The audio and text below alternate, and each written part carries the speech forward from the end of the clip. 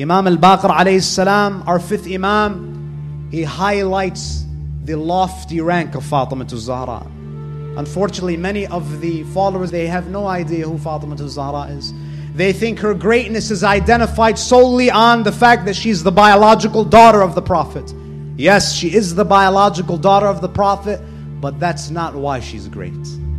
Imam al-Baqir says about his grandmother Fatima, he says, لَقَدْ كَانَتْ مَفْرُوضَةَ الطَّاعَةِ Imam al-Baqir, a ma'soom, an imam, he says, indeed her obedience is mandatory. Listen, on who?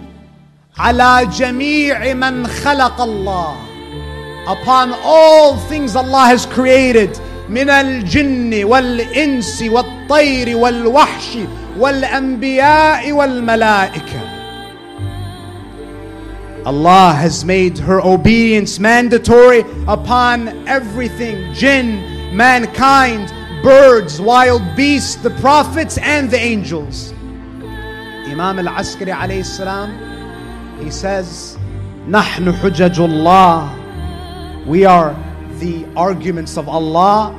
وأمنا فاطمة حجة علينا. And our mother Fatima, she is an inspiration for us, the Imams of Ahlul Bayt.